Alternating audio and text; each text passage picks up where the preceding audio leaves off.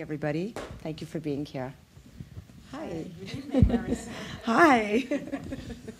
So we have spent, uh, okay, I I need to speak in the microphone. Don't forget that.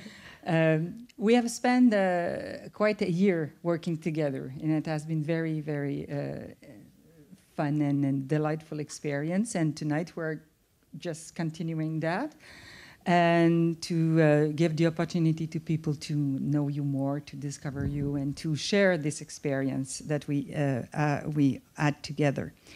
So, to start and to refresh uh, the mind of the people in the audience, would you um, recall or summarize the experience of the residency? Definitely. So I just want to say it's been a pleasure working with you too.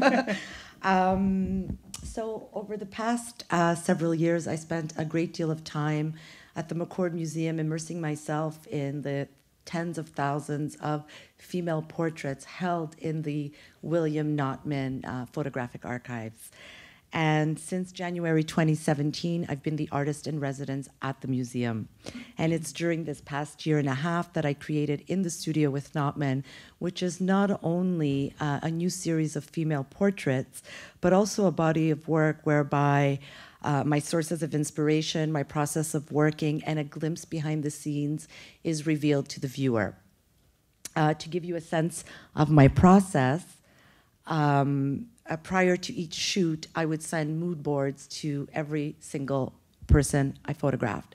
So uh, all the sets were personalized for each woman that I photographed. And this is uh, the kind of mood board that I would send, where it, would, it consisted of images of the Notman archive that inspired me for that specific person, for that specific shoot, an image of the backdrop to give the person that I was photographing uh, a sense of the colors and, and the set. And so it was basically a collage of, of, of the scene.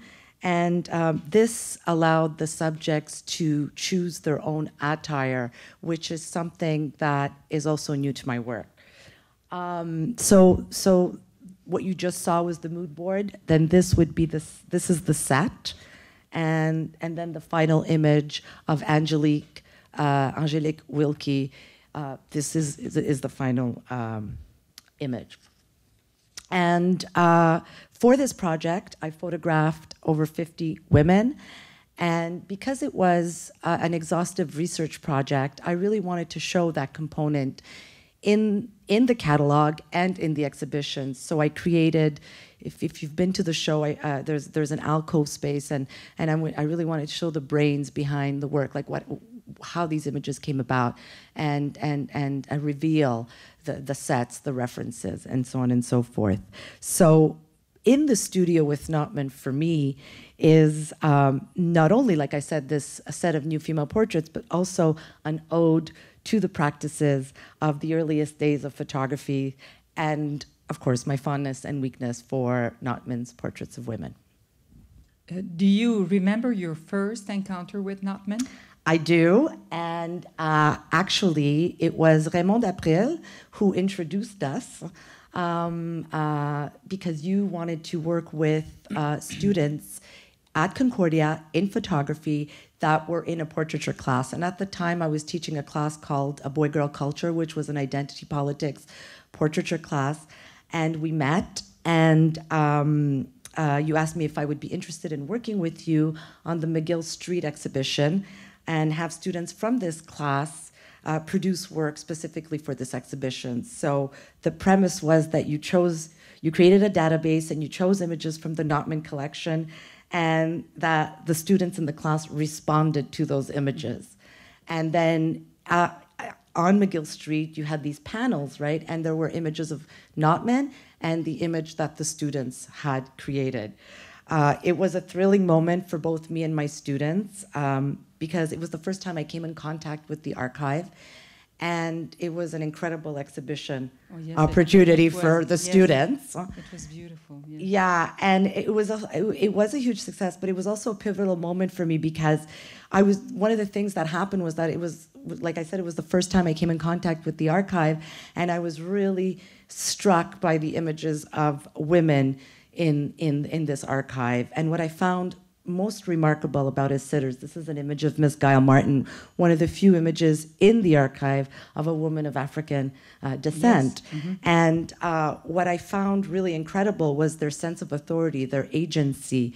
Um, in the making of their portrait. Now, this is my interpretation, but for me, it's very evident in their physiognomy, in their gaze, uh, in the way they're holding themselves. They're really owning it, and I feel that they're very sovereign. And, uh, and this really stayed with me for many years. And I knew, uh, I knew then and there that I would revisit this archive.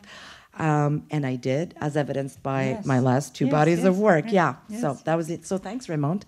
yes. I don't know if Raymond re- remembers that, but uh, yes. Yeah. So, Marisa, could you uh, elaborate more on the image making process for the exhibition that is uh, upstairs right now? Okay, so um, I, I, knew I had to do something different than what I had previously done, and I knew I had to do something good because there was an exhibition. And, uh, you know, that's always uh, terrifying and exciting at the same time. But it was while sifting through the archive that I came across this image of Annie Gray McDougall.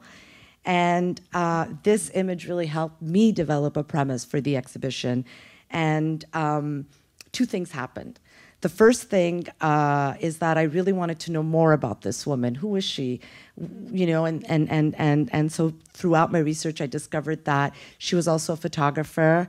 Uh, she was Notman's student. She bought her first camera from Notman. And in her work, she documented, uh, she depicted daily life in the Drummondville and Pierreville areas of Quebec. And uh, so I, you know, I was thrilled to learn this because for me it was sort of like a wink to other female photographers.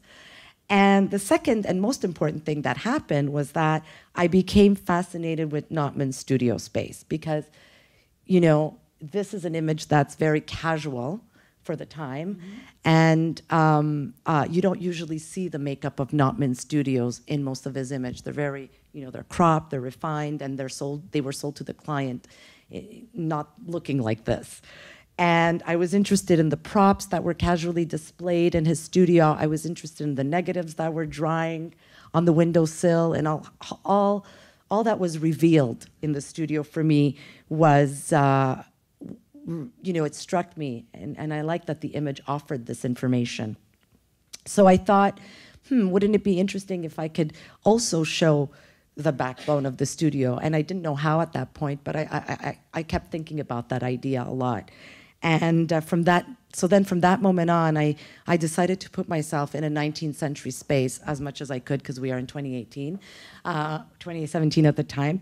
But I wanted to work under similar conditions. So I decided that I wanted to work with daylight only and structure my studio in a similar way and no and, and, and like i said work with daylight no matter what the circumstances so i you know i literally was in the studio with Notman, making portraits in a more elaborate manner. And I used this uh, residency opportunity, this research opportunity, to not only dig deeper into Notman uh, female subjects, but to also study the decor of a bygone era. So, as you can see, this is a picture of Hannah Bozovic. Um, when I first started the project, I was really zoomed in, and you saw the backdrop of each model. And as I got further and further into the production and research, I started to back away, and I started to show, uh, you know, things in my studio as well. And then this is an image of Carrie McPherson, where I also show the actual backdrop kit that I used at times. So yeah. Oh, yes, but what does the, the, the notion of studio means for you? Well, mean for you now? Well, you know, in a sense, in a sense, uh, what's for me the studio? I've always thought that for me the studio was a very magical space because it's first of all it's where artists work, where they produce, and um, and that can be anywhere. It can be in your home, it can be in the landscape, it could be a traveling studio, as we see with many uh, photog- many portrait photographers of a certain era. And or it could be a classic white cube in, in you know in an old factory building. But i love visiting artist studios because for me it's where you see the ideas unfurl. It's a very raw space and um, you see the mess, you see the failures, you see the triumphs, you see the books that the artist is reading, you see the images that are inspiring that specific person. And it's that behind the scenes that's not usually revealed in the final oeuvre that for me I find uh, fascinating as, Mm-hmm. uh, as someone visiting a studio. And it's a treasure trove of secrets because it's also where you can really enter the mind of an artist and, and they expose a lot. So, yeah. Um, excuse me. Yeah, so I, started to show images of my studio in an earlier series, which I'll get to uh, later on in the talk. Okay, yes, yes, yes, yes. But at this point, now that the exhibition is uh, uh, in the gallery, uh, can you uh, can you tell us how it affected your vision? All this experience, you know, it's like Notman. You've been in with Notman for many years, few years, and uh, did it affect your vision? It did. Uh, first, I'd like to state that it was uh, the first time in my career that I experienced working as an artist in residence for a cultural, for a major cultural institution, um, in order to produce a very specific project that converses directly with uh, a collection in a museum, in an institution. And um, the research and, and, and, and, and production for this, this project culminated as my first solo exhibition, museum solo exhibition, I should say, sorry.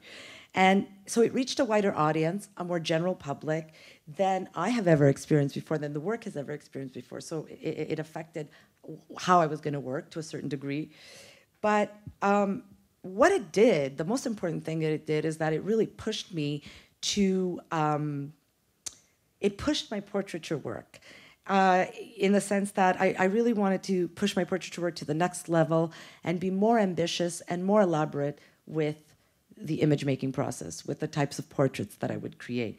It, it allowed me to play with color, decor, lighting, and setups that I hadn't really done before. I mean, I had to a certain degree, but like it, it was just something that was it was very motivating. It was very inspiring, but it, it, it was a project that involved the most important thing that I want to say is that it's a project that involved an exhaustive research component that I chose to reveal in the exhibition and the catalog publication.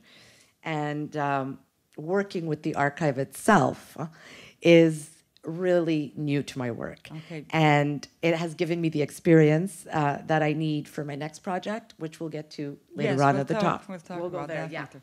But I understand that it's a kind of turning point. It's a know, turning point. eh? It's a turning point, and and and as you will all hear at the end of the talk, it, it's it, in a really strange way. It's pushing me in a completely opposite direction in terms of that's where I'm going with the work. But right now, let's go backwards Okay. to talk about your the beginning, your debut as a photographer. Okay. By with this simple question, how did you uh, become a photographer? Okay, so uh, my love of images started from an early age. And uh, my father is not a photographer, but he took all these pictures of me. And um, he was an amateur, and he took a lot of pictures of me, my mom, my family, and mostly portraits. And what I found really interesting was that he's photographing me in different guises, in different roles, I and it's something that I do in my own work. So it, it, it, you made me revisit that, and I had never really analyzed it that way. But I, I think he did have uh, influence to a certain degree.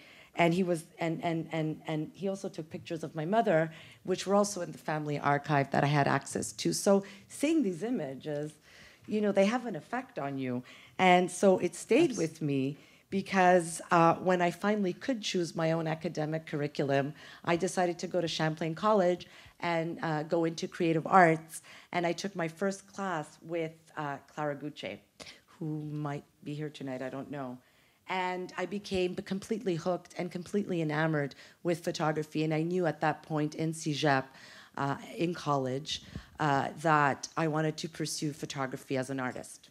Okay. And so, and then I yes, went yes. to Concordia and, and, and so on and so forth. So this is one of my first uh, images. Well, it's, it's an image that I took in college. It was, I think, my final body of work. And it's really funny because when we were organizing this discussion, you made me revisit these images, and they were tucked away in my parents' basement. But we would basement. like to see more of that, you know? We would like to see all of them. Um, yeah, they're not all good. So I wouldn't. Um, I, I it, it, and it was interesting because I revi- like I went back to my parents' house because I don't have these images at home, and I went into their storage and I looked through the the the the, the boxes of images that they have, mm-hmm. and I realized that you know I was photographing women even back then. Yes, yes. You know, and and and that's how I started. I Right. started photograph. I, it was it was portraiture from the very beginning. Yes, but yes, now I can really understand how you you got involved in portraiture, but you you chose for portraiture. You decided to to pursue to work in that genre. Yes, yes. So why why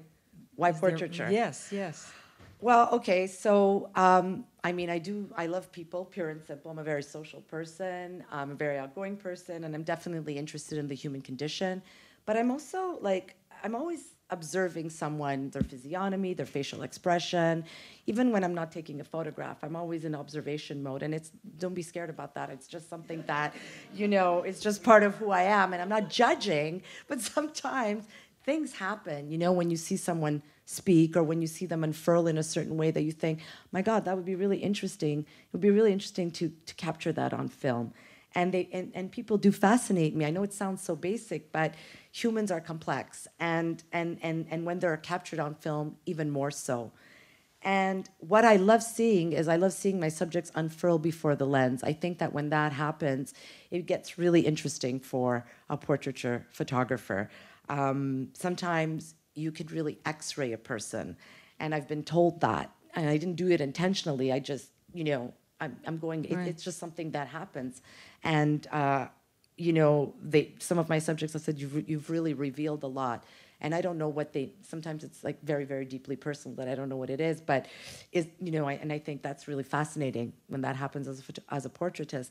But at the same time, is it true? You know, I Yes, mean, yes. It's, it, I don't, I don't know if it's all truth. You know, I don't even think it is. But thus lies the complexity of representing someone on uh, camera. Yes, film. it Yeah. makes me think of the the photographer, um, the German photographer Thomas Ruff, who in the 80s, you know, photographed, did big, large ID portrait, and his idea was to ask the question: Is there just a surface? Yeah. Is there something behind that surface? So th- this is something that's it's a seminal question in in um, in modern portraiture, I yeah. would say. Yeah. right? Yeah. And um, uh, did you ever photograph yourself? Uh, yes, I did. Yes. Um, I'm not like I don't do like I'm not a self-portrait photographer, but I have included myself in a few projects. Um, in, in this is uh an image from Belle de Jour One, where I uh, study different iconic female roles, and I decided to include myself as a Frida Frida Kahlo type of uh, person, uh, uh, ident- uh, sorry model.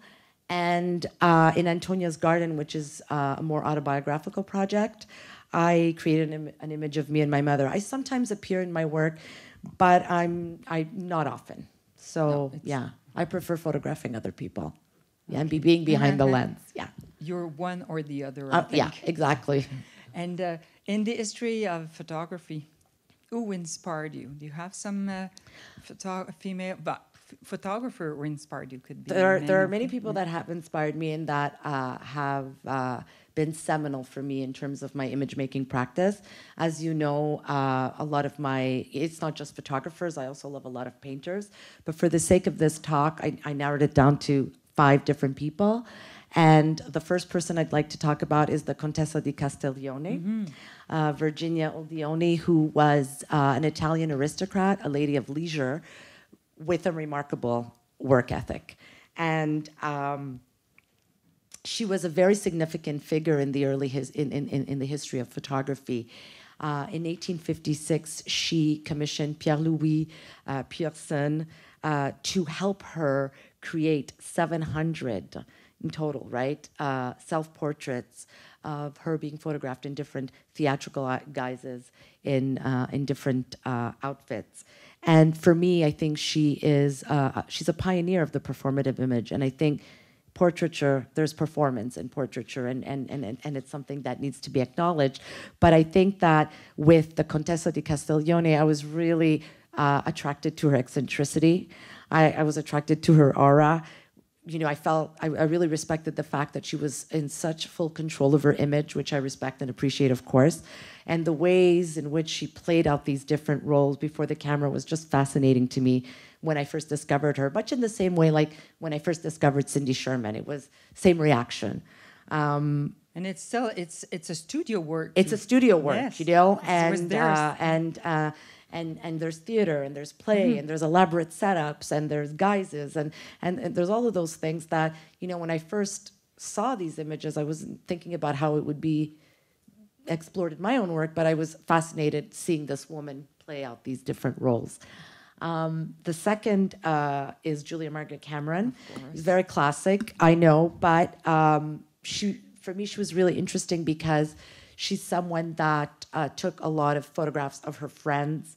Um, she took a lot of photographs of celebrities at- the time and very heroic as very heroic figures. And what I think I liked about her is I remember discovering her in, an, in a photo history class and how you know photographing your friends is legitimate. You know it's not silly. It's not you know just this no matter what. And and I, and I and I think it's an important genre because it's about your community.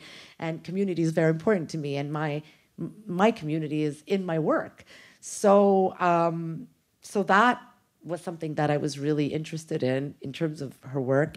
Um, I also, I mean, this is a little anecdote, and we talk about it. I- also like the fact that she started her career at 48. It gives me a, it gives me hope that, you know, you can change your life at middle age. It's okay. It can happen.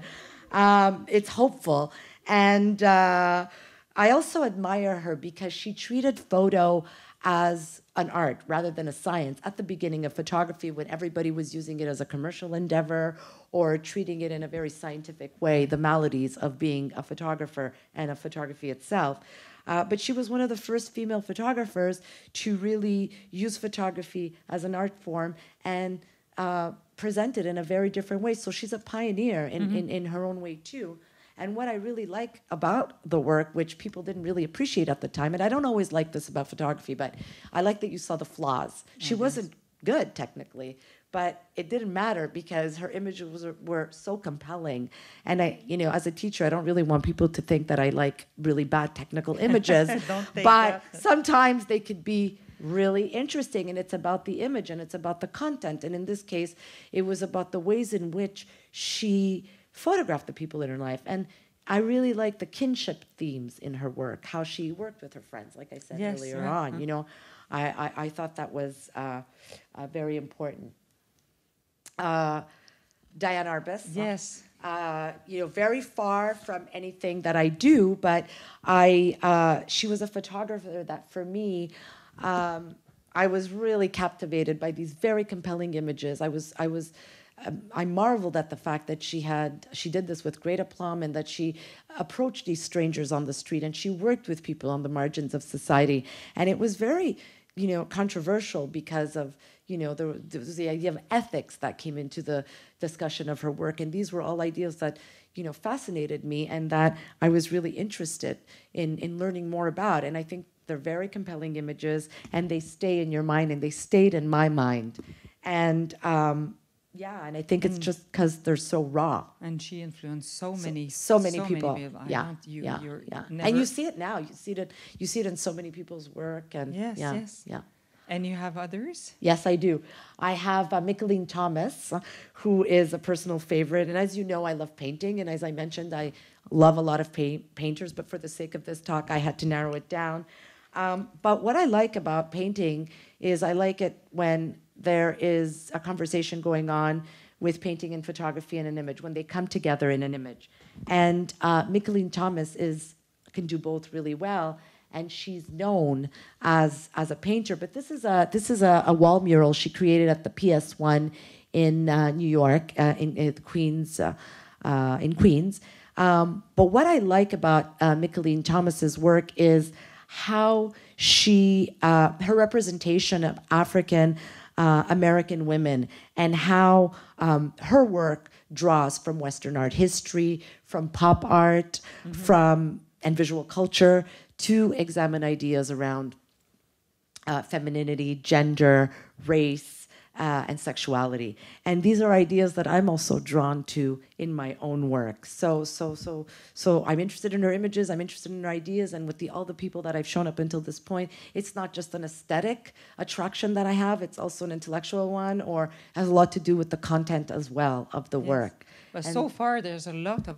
all, and in every of those photographers there, we can find that in your work. Okay. This is something now that appears to me. yeah, yeah, yeah. They resonate very strongly yes, with yes. me. And the the final uh, the final artist that I want to mention is Rineke de Dijkstra. And uh, for me, what I love about her work is how she manages to capture uh, vulnerability and strength in in this in courage in the same image.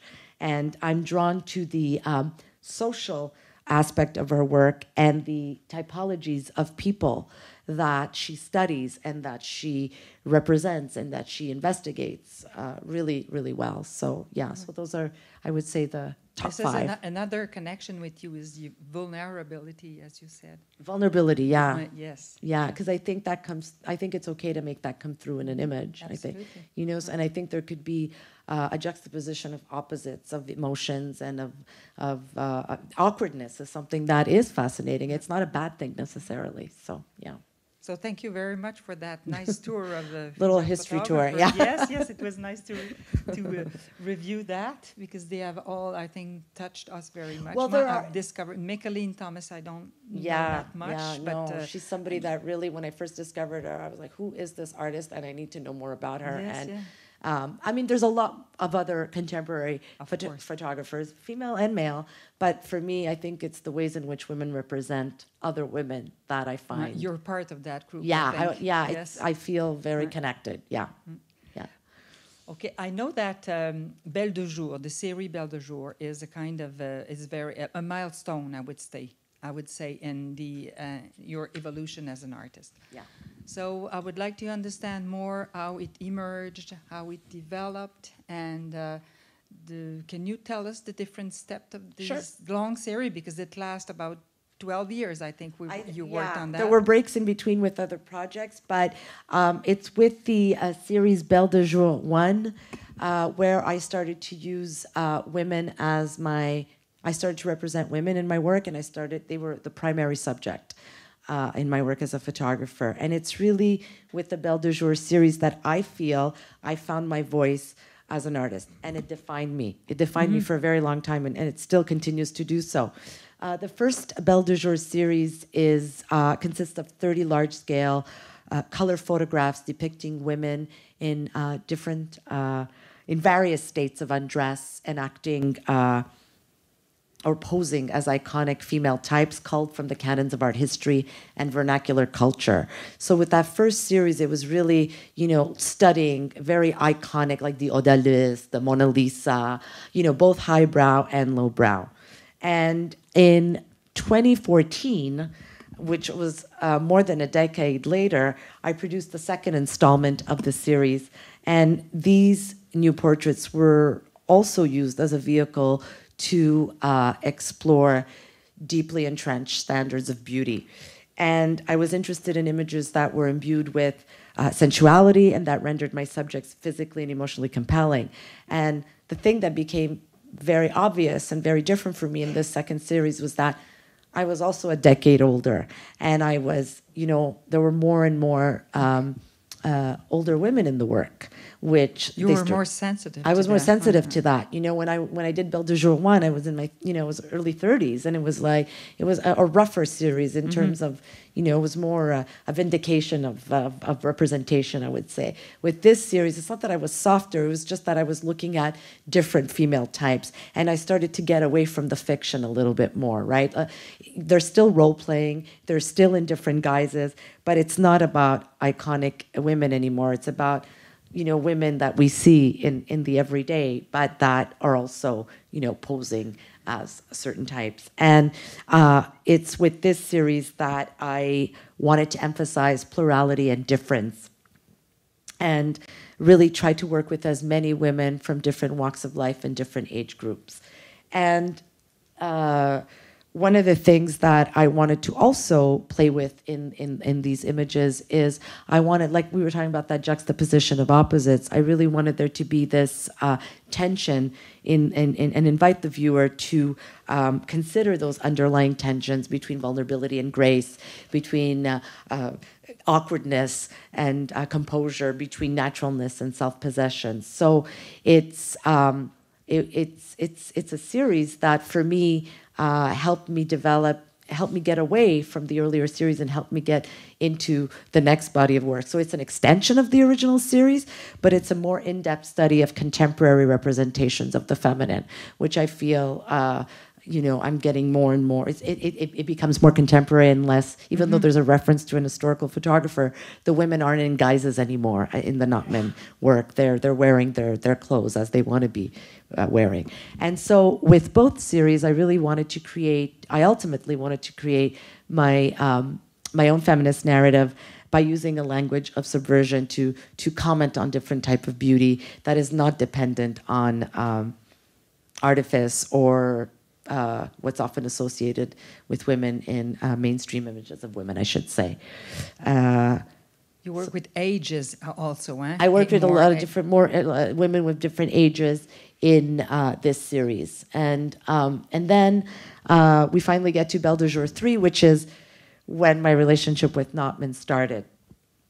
And in, in, in 2015, 2016, I started producing the third installment of the Belle de Jour series, which is when I, I contacted you and I said, you know, can I have access to these archives because I'd really like to revisit the Notman collection and, but and you you were not in residence. I wasn't in time. residence. No, okay, was, I wasn't it, in residence. It was your own uh, initiative. It was my own initiative, and Hélène said yes, please. You know, she gave me access to the archive, and um, it it was really my first foray into the world of Notman in my own work, and um, I was certain of three things. I was certain I wanted to work with Notman.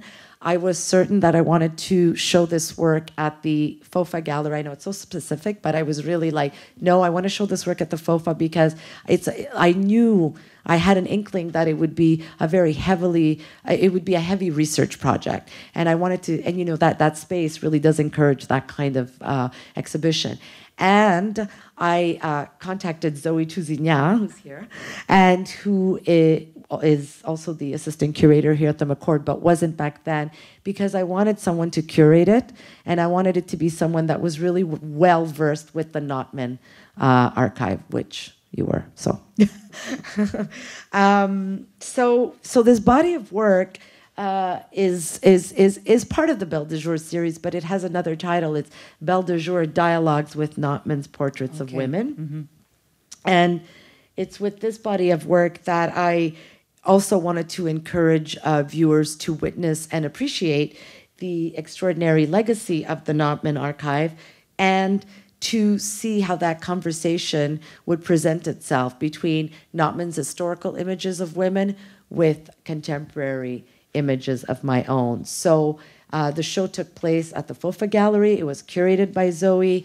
And uh, it was at that point that uh, Zoe also encouraged me to start showing my process. She, re- she really encouraged and, and, and, and, and, you know, pushed me and said, you know, you should, because she'd come to my studio and she'd see what I was doing. Okay, to show the relation with Notman, yeah. very obvious. And to also show, like, it's really interesting to see this wall of women in your work and to see all your post-its and to see wouldn't it be interesting if you start to show that in the exhibition? And it, and it's not something I'd ever done before and I thought that was a really good piece of advice because it also brought me to working in that way also with my work that I did in the uh, studio with Notman yes. during this residency. Mm-hmm. So yeah, so I wanted to really look at um, sorry uh, Notman sensibilities. I, I, was also interested in the eccentricities in his yes. work because you find a lot, you know. But you kind of you really put the spotlight on that. You you reveal that yeah. Notman because often Notman is seen as a the, the, the repetition, you know, the, the aspect of the repeti- repetitive aspect of this work is obvious,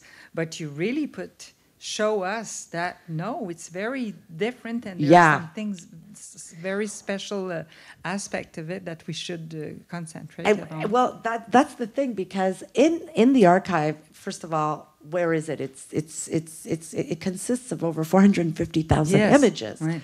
And 85% of those images, correct me if I'm wrong with my statistics, are portraits. 80%, yes. 80%. So it's really it's super overwhelming when you first start putting in keywords into the database. And so at first, you know, they're very big women, women in the landscape, mother and child. And throughout throughout that research process, I started to develop categories because I had to. It was the only way I could organize my thoughts and organize the ways in which I was going to photograph the different people. And so so um, and also how was I going to build this uh, relationship between past and present modes of, of representation? So there's like there's a whole series of costumed women, and and Marie was very. She's the CEO of IBM. She doesn't usually dress like this, but she. Um, uh, I sent her some images of Notman to give her like a sense of like where I was going with the project, and and I said I don't expect you to wear a ball gown or anything like that. Like just you know I'm giving you. Oh, she goes, oh no no I'm gonna wear it. I have one. Okay. And I thought okay you're probably the only person I know that owns one Beautiful. She really looks she like a really and she really took this like portrait mm. very seriously yes which i appreciated and so so so there's a whole series of costumed women there's a whole series of regal and like you know more uh, yeah more regal women but then there's a whole series of working women and there's a whole series of younger women so so there's there's there's a lot to look at in the in the archive and it's incredibly oh, overwhelming okay so yeah Okay, okay, okay. Uh, so, in, in reaction to Belle de Jour, uh, critics have present you, presented you as a feminist photographer. I guess you agree? Mm-hmm. I do agree, absolutely agree. Um, but more importantly, yes, I am. But I, I am a feminist photographer. But more importantly, I'm a feminist. So, so, so that to me is Yes, like first you know, art. First, first, First first off, and um, in all aspects of your life. in all let's say. aspects of my Okay. life, yeah. Yes, but in, in photography, how does it show in your in your photography? Like I would, as the, um, regarding you know the stereotypes, the, the female stereotypes. Yeah. How do you work? Because my feeling is that you're not actually against the stereotype, but you work with them. So, so there. So first, to answer your first question, is um, for me, it's like what makes me a feminist photographer. I guess uh, a provocation to um, uh, to look at women through a different lens, through a female lens, through an inclusive lens, through a lens that gives them agency, that gives them authority, that it presents them in a noble way, that uh, gives them, uh, you know, the right to say yay or nay. I don't want this picture produced. I don't want this picture shown. Um, uh, to try to represent as many types of women as possible. I mean, the fact that I've dedicated most of my career uh, to women, to the representation of women, is is important. And um, to be clear, when I say different types of women, I really want to be clear because it's different types of women in my life. I haven't, I don't assume to photograph every type of woman out there. I don't work with strangers. I don't make casting calls. Um, I work with women in my family, in my community, in my, they're my friends, they're children of friends. Um, you know, so it's essential to note that I don't assume that to represent everyone out there, but it is something that it stays in my mind. It's important for me to have that diversity in the work, but I need to do it in a very organic and very honest way. Um, so, so, so my representation of women is very personal, and um, like I said, I want there to be uh, also a sense behind the beauty uh, of the surface, and also to um, you know the humane quality, the psychological. Uh, perspective, the ways in which women are holding themselves, the ways in which they're being represented for me, the fact that I said that they have agency for me, that's really important in the work. It's the most important thing. And um, you, yeah, working against the grain. Yes, but I'm thinking about of the, you know, in the studio with Notman, you work with flowers. It's it's something that very uh, traditionally associated with women with with, uh, with um, beauty and fragility. So is, Yeah, it, is there yeah. a strategy there? Yeah, I'm really glad you asked that question because y- there's, that's something that you can get criticized about a lot, which is I completely understand. There, there's that stereotype that we were talking about that I'm I'm I'm working against the grain, but I'm also working with it because I'm trying to subvert it and I'm trying to turn it on its head and and make people see it in a different way in terms of like we're taking over that language. It's that language, those codes and conventions that we're used to seeing in mainstream images of women, and taking control of that image and reclaiming it and reinventing it through a female lens that I think is really important to note. And I want to say something about femininity because not every woman is feminine, and that's fine, but femininity is not necessarily something for me that's the opposite of feminist. Um, one doesn't exclude the other, you can be both. Um, and I think that for me that's like bottom line is that i want to be inclusionary and i want to be able to look at the different types of uh, ways in which to represent women and i am representing them a certain way because that's me that's my vision you know and somebody else would come along and do it differently and that's okay too uh, in fact it is important that that difference exists because i think that's where the dialogue becomes really interesting but I'm using that visual language. I'm using those codes and I'm trying to subvert them. And, and like I said, turn it on its head. So there's that tension that's created in the work. You know, it's not just women in pretty flowers. I mean, I think that's just such a superficial reading of my work. And I know, I've heard it. Um, and it's, I, I expect it, but I also think you're not looking close enough. You're not really, you're not really looking at that image. And, and, and, but you, you may be looking at that image and have that interpretation regardless. And I have no control over that, but I'm not going to change because of that. You know, I'm going to stay true, steadfast and true to my vision of that. And and I am working in a minefield of male fantasies, but you know what?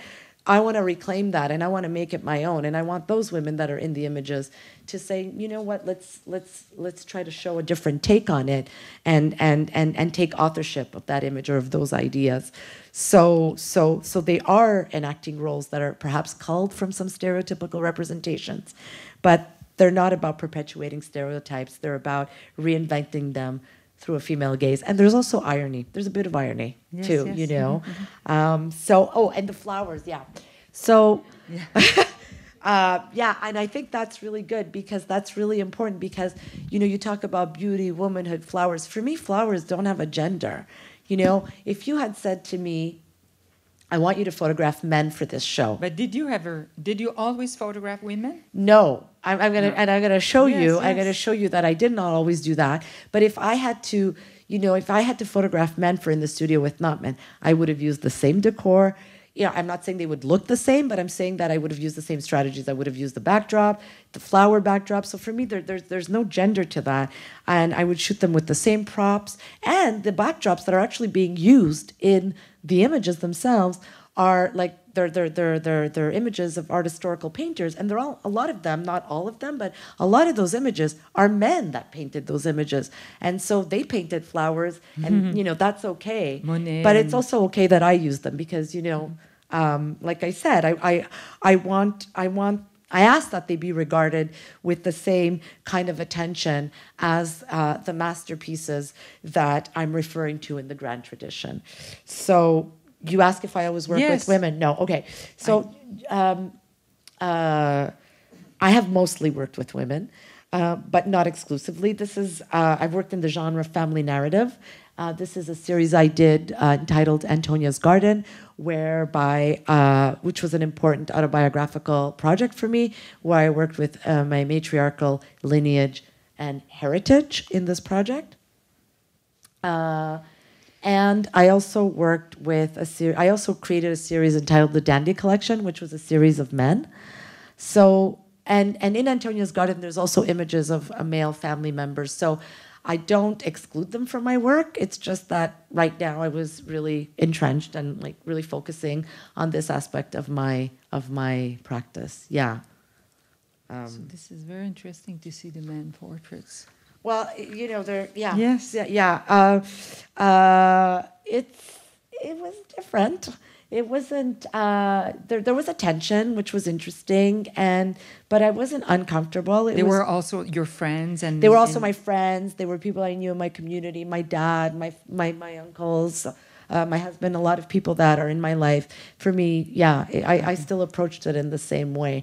In a way, they were a little bit easier to work with, but in a way, a little bit more difficult. You know, it Ah, was okay. just. Oh. Uh, I guess I don't know. There was maybe now would be very different, but I did this very early on. I did. Okay. I, I, I created this series in, in 204, 205. So Okay, so at the beginning. at the of Belle de beginning, Jour, yeah. So you, and then I just became really involved with other projects, and I and I, I really felt that it was important for me to to continue representing women. So, yeah, okay, okay. yeah.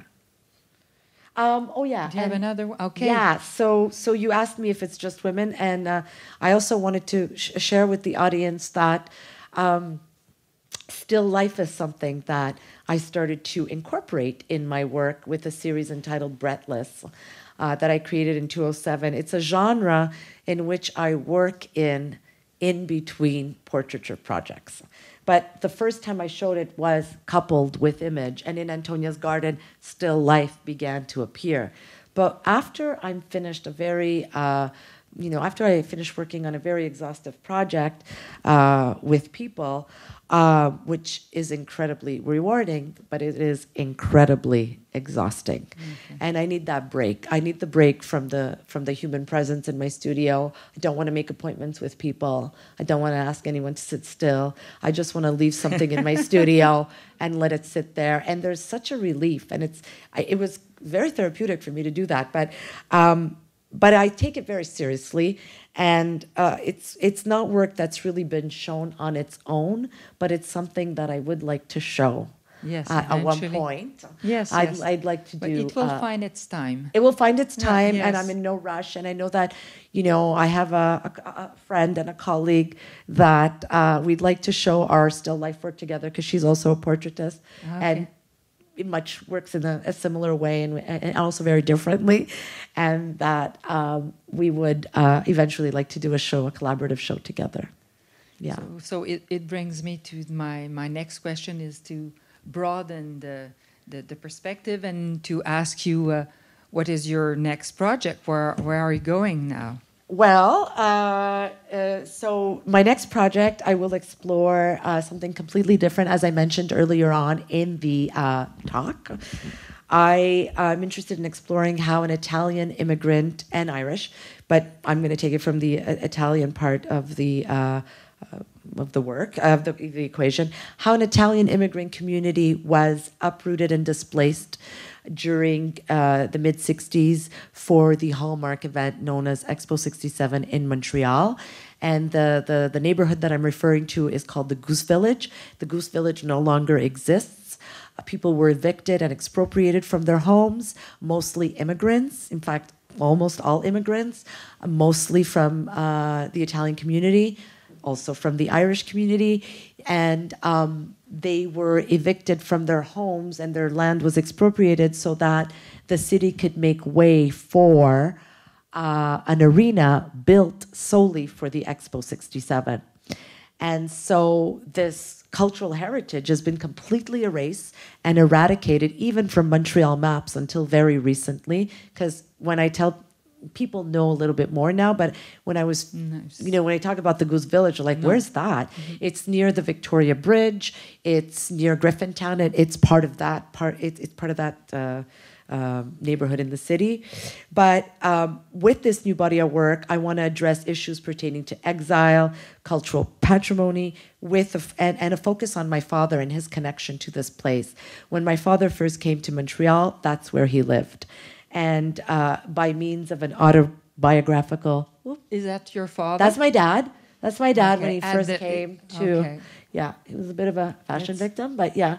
Uh, uh, no, no, he's uh, he's he's wonderful. Uh, um, he was he's a tailor, so fashion is a big deal in our family, and my mother's a seamstress, so dress and like how we present ourselves is something that I I've grown up with. But uh, there it you know by means of an autobiographical departure point in combination with I guess journalistic investigative techniques associated with documentary practices, I'm I will ad- my project will address larger issues pertaining to Italian immigration in Montreal, uh, the history of urban development and poor planning, uh, urban pla- urban planning practices that aren't exactly, you know, well thought out, as well as exile and community displacement. And this is the Goose Village in the '60s before people were evicted.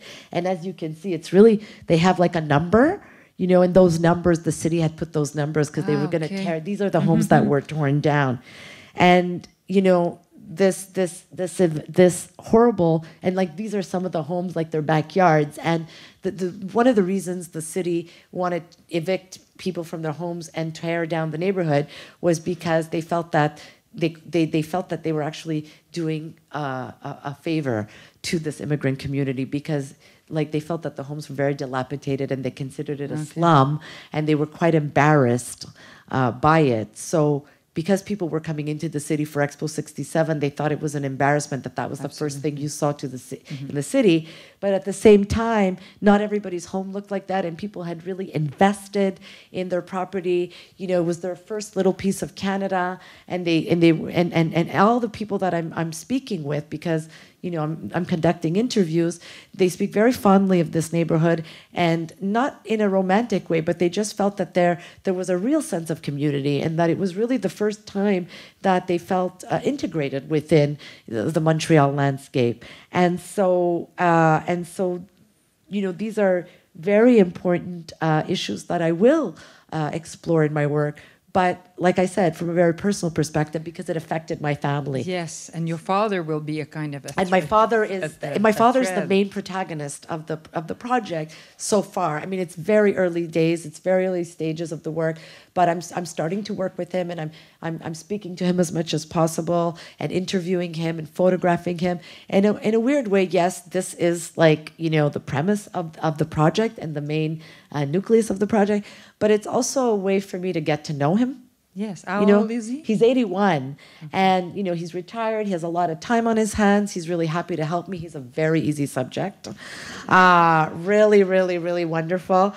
Um, but also, you know, you know, we're talking about difficult things. We're talking about a time in his life where he wasn't established, or you know, that were very difficult, where he was experiencing racism, or you know, people treating him differently because he was an immigrant. Um, and I'm learning a lot about his life as Dominic, not as my dad. Okay. So, Oh, so I want to get to know him as a person. Oh, yes, but I also, great. And it's because of this situation, uh, uh, because of this event that happened. So it's twofold, right? It's it's political, but it's also very personal. And uh, I want to end on that image of him.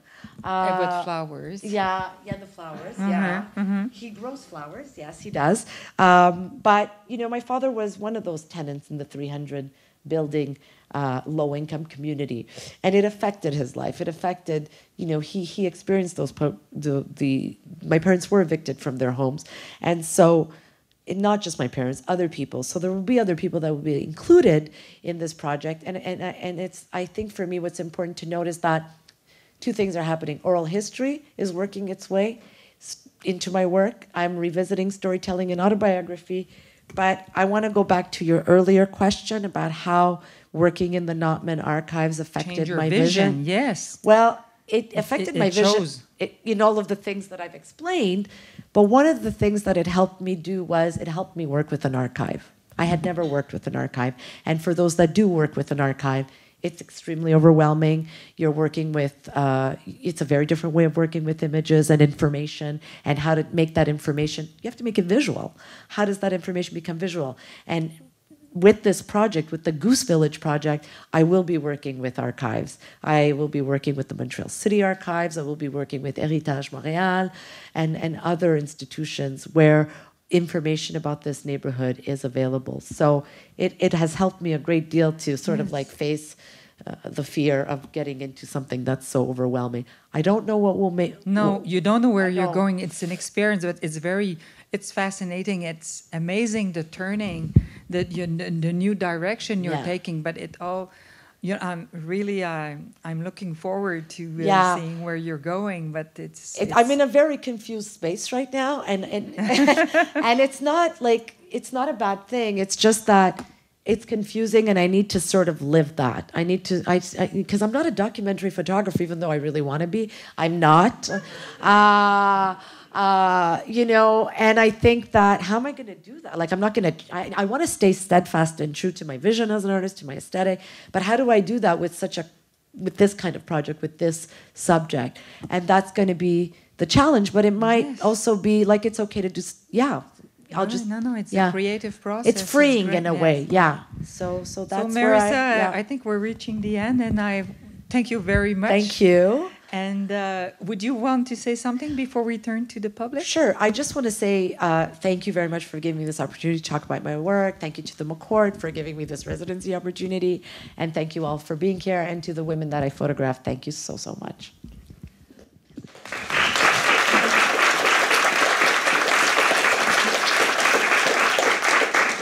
Uh, any question from the public?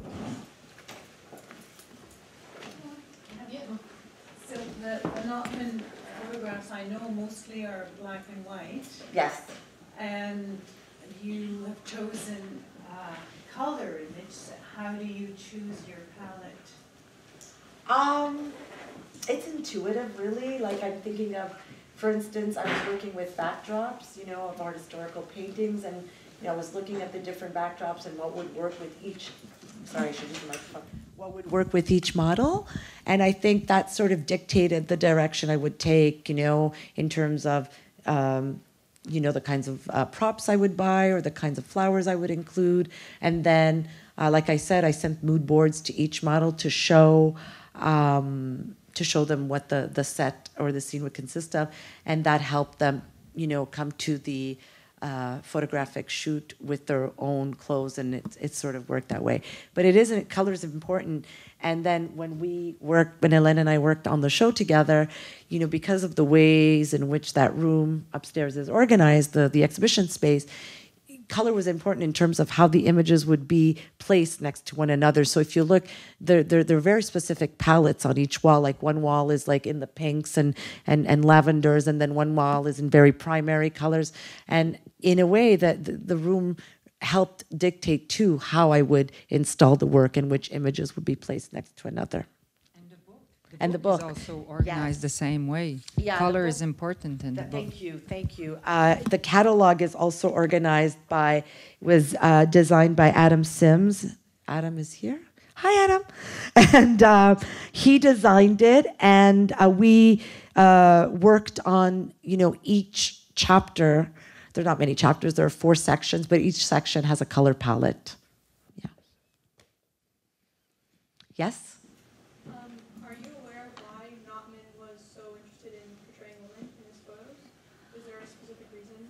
Or Um, I wouldn't know that. I, I mean, one of, one of the But actually, there in in the not archives, there are not more women than men.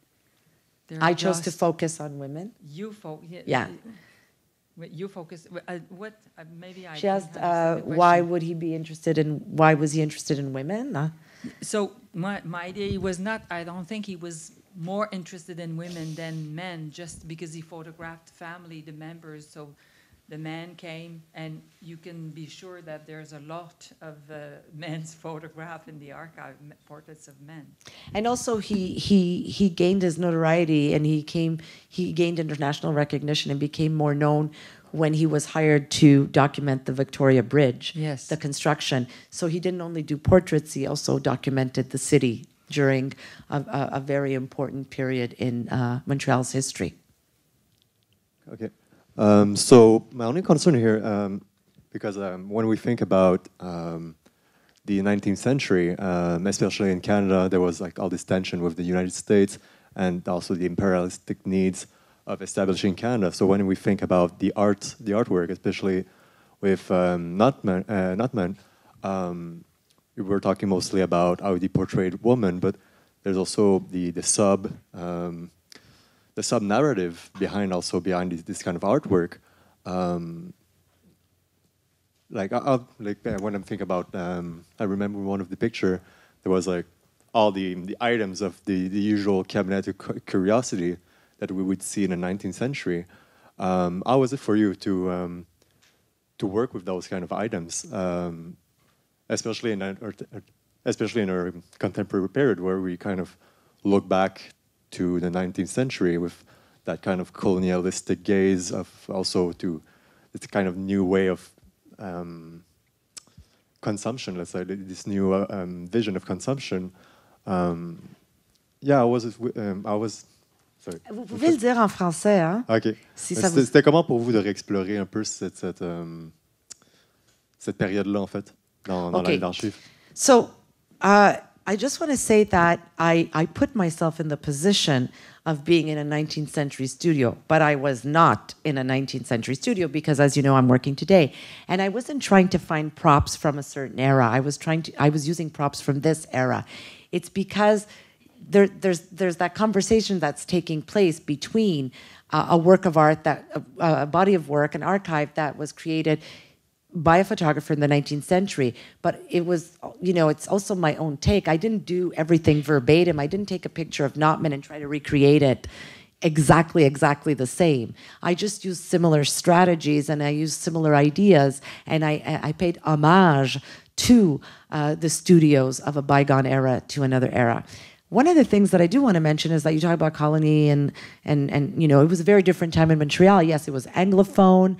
Uh, if you look at the the the primarily anglophones, uh, if you look at the images of the women that he photographed, they come from a certain class because photography, as you know, uh, was very expensive at the time. So like a lot of people didn't have access to photography. It wasn't as democratic as it is now. And I think, you know, when I look through the archive, it's obvious that there's, you know, the same type of class that's being represented because of the very specific time in which he was working, which was Victorian Canada, Victorian Quebec. But in my work, I try to no, you know, like I'm not just going to show, you know, that class is may or may not be there, but it, there's a diversity in the images that um, I may not have found in um, uh, that I did not find in uh, Notman's archive. Would and you, you, say? you were not doing an historical study. uh, No, no. I was working as a contemporary female photographer. I am working as a contemporary photographer, uh, but I'm I'm in conversation with a 19th century uh, photographer. So so my images, there was no way I was going to start doing things like exactly the same. There's there's there are nuances and making it my own. Definitely. Thank Thanks, you. Lisa, yeah. I'm just, I think what's really interesting is, for me, I'm just trying to make links in your work, but it's not so much a question, but more just a, a thought, but the, what's, what's interesting about the archiving, I feel it's making you create, like the, it goes from archiving to sequencing, and now you're kind of working with this narrative. Yeah. I don't know, maybe you could speak to that. Well, there's a system and there's a way of organizing your thoughts um, that can be very structured, but it could also be less structured. So I think with the archive at first, it became, um, you know, with the first series that uh, Zoe uh, curated, there was a lot of structure in terms. I had to. It was my first time that I was. Um, working in the archive and like i said there were so many categories there were so many images that I, you know, I really had to, I, I didn't know how to focus. So the best way to do it was have these, you know, categories and then pull from those categories and, and see which ones I wanted to explore more or less.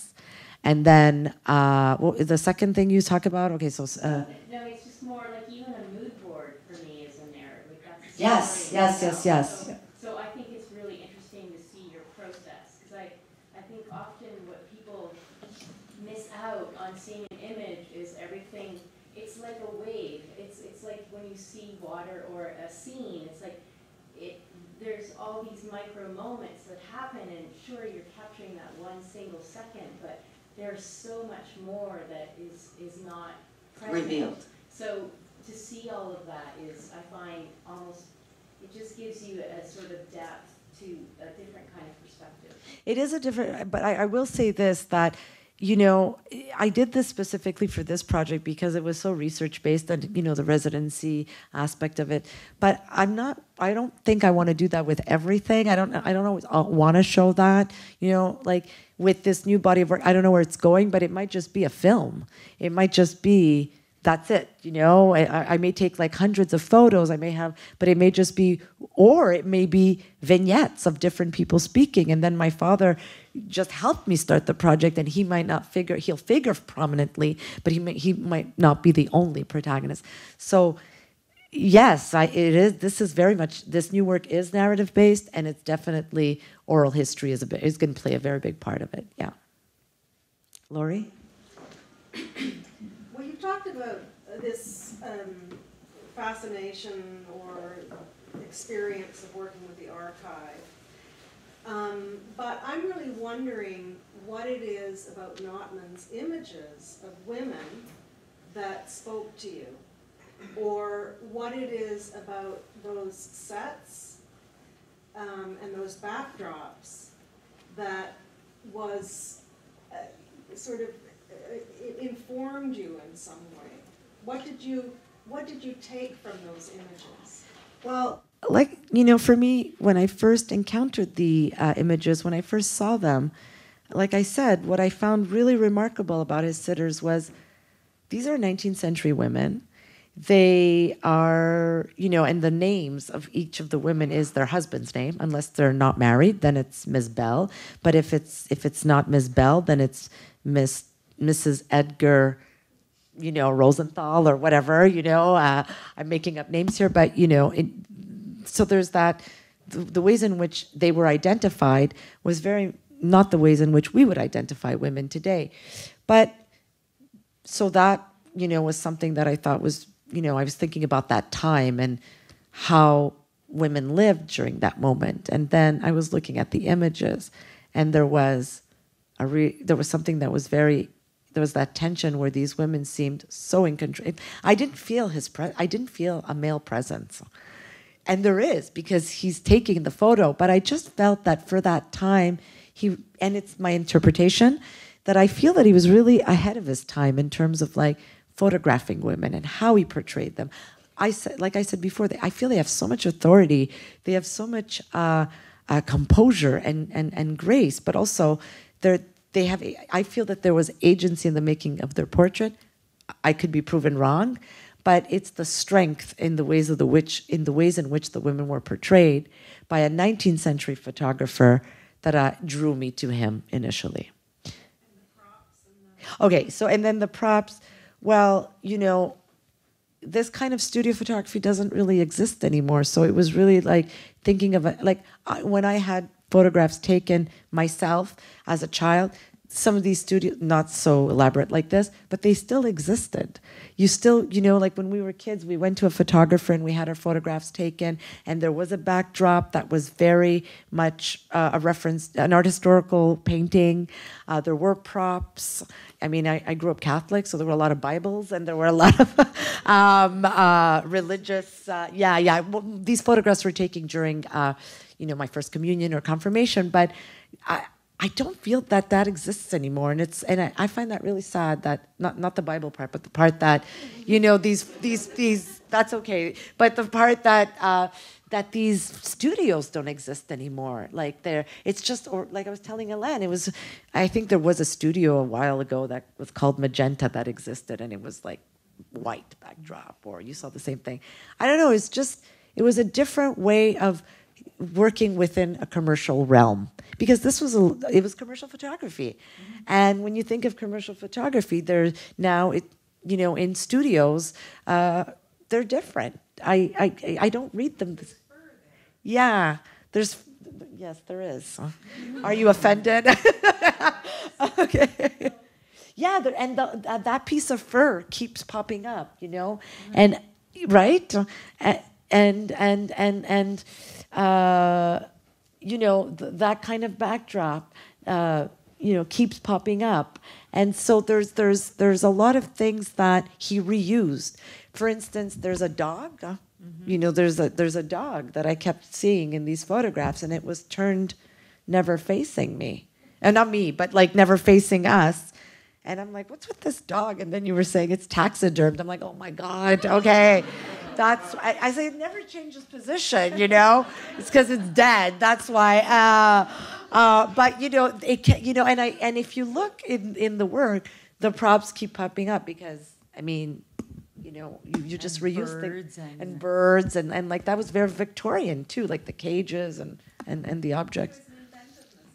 Absolutely, and it was much more elaborate, you know, than it is now, and and uh, you know, there's something about that era that I really, really is part of my aesthetic and that I love. Yeah. Zoe? There's Oh. definitely, I think, oh, sorry. Sorry. Um, a difference between the two phases of Belle de three. And this is the first phase, and Yeah. upstairs is the second. And the first really seems more minimal to me, Yeah. almost stark sometimes. Yeah. And it's like you did a total flip, or, or like you completely embraced your maximalism for the, this recent show. And is it just that you looked at the backgrounds and the, the studio props that allowed you to go in that direction in a way, or? Yes, but I also was so. Um, I don't know if it's this, but I, I, I, think that one of the things that was so amazing was that I was just becoming more and more and more involved and entrenched and like really uh, motivated. And I did one, and then I started doing another, and then I just started getting busier and busier because the first portraits that I did for in the studio with Notman are very minimal. There's a backdrop, but I'm zoomed into it's like if you see upstairs like one of the first images is of this girl elisa di maria. And she's just it's just her. There's no flowers. There's no there's there's nothing you know? And that's how i started. And i thought oh, i don't know you know? It's like uh, i want to add some things. And then i started adding a plant to the side. And then i started adding and then it like i and then it became more and more maximalist as i as i as i proceeded with the work and i just i just became more involved and i just looked at the studio a lot more closely whereas with this work i was looking at the women a lot more closely and not that say that i didn't look at the women with the second project but there was i was having a re- yeah there was a back and forth between the, the, the studio and the women Allô? Je vais parler en français. OK, il n'y a pas de problème. C'est facile pour moi. Euh, j'ai- J'aurais plein de questions. Je vais essayer de, en haut. C'est très beau. Merci, Merci. beaucoup.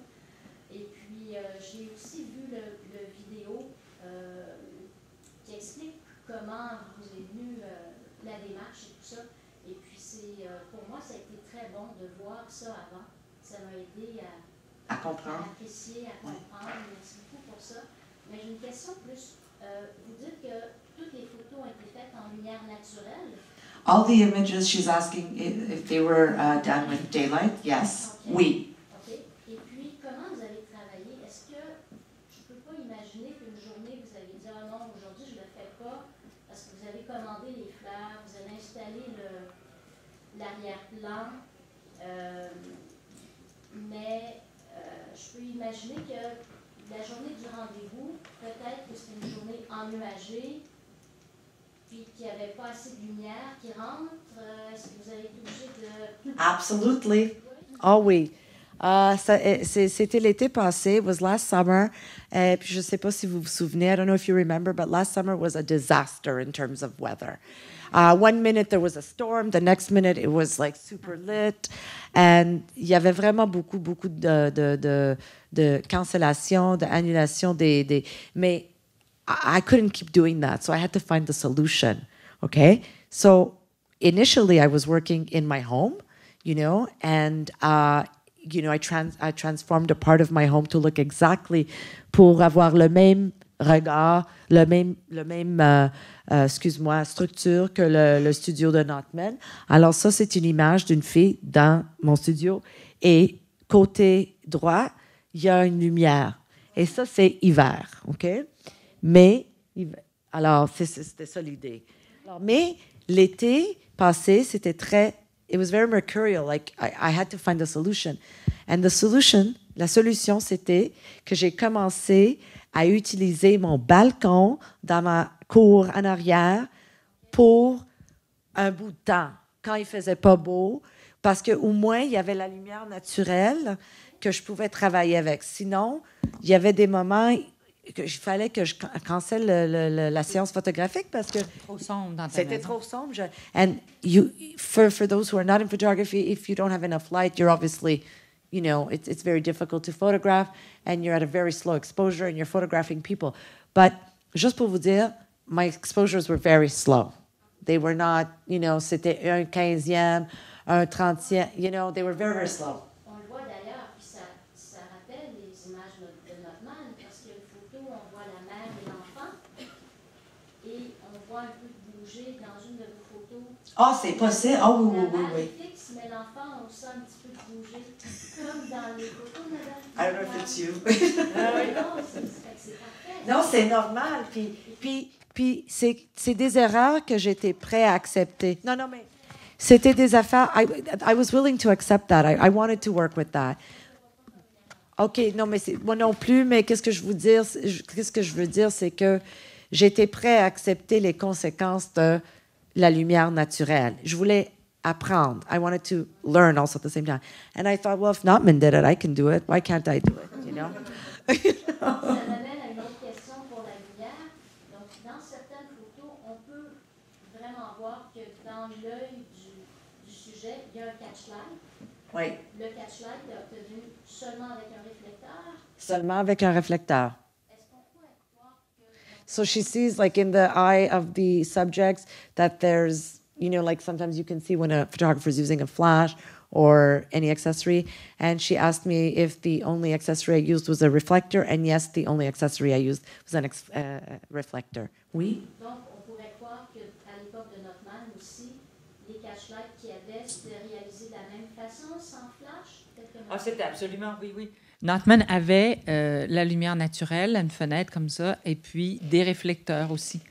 On voit dans certaines photographies euh, qu'il utilise comme ça des, des, des, des, des grandes toiles pour euh, réfléchir la lumière sur son sujet.